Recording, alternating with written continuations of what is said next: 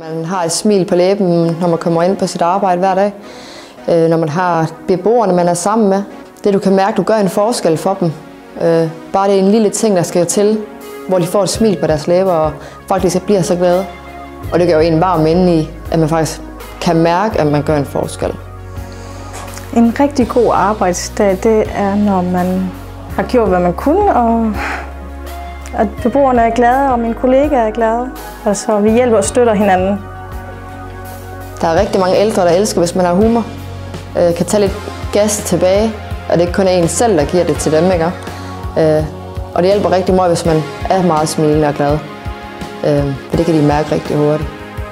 Det har været en rigtig god dag, når vores beboere er glade, og vi er glade, og vi har haft en god morgen sammen, en god formiddag, en god middag sammen. Og det, det er en god dag, og vi kan grine af fjollede ting. Og jeg har en rigtig god følelse indeni. Øhm, når man griner med en borger, der er et eller andet sjov med lige med hårdt for eksempel, man lige skal ordne, ikke? Og, eller hvis de kommenterer ind, Åh, hold op, du har godt nok en ordentlig knold i dag. Altså, det der med, at man, man mærker virkelig den varme, man spreder, og man, får også, man bliver også selv varm indeni.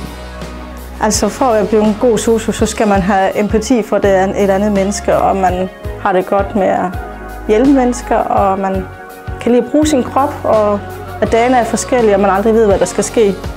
Det vigtigste er nok, at man er glad og udadvendt, og man er imødekommende både for personale og borgere, men også deres pårørende. Det, det er noget, nok noget af det vigtigste.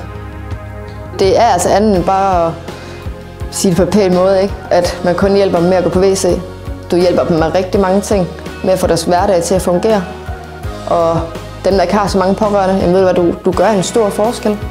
Det er jo ikke bare de der små ting, som nogle folk godt kan sige. Vi hjælper dem med alting. Så det synes jeg, hvis der er nogen der er derude, der rigtig gerne vil have uddannelsen, så bare med at springe ud i det, og så prøv at se, om det er noget for en.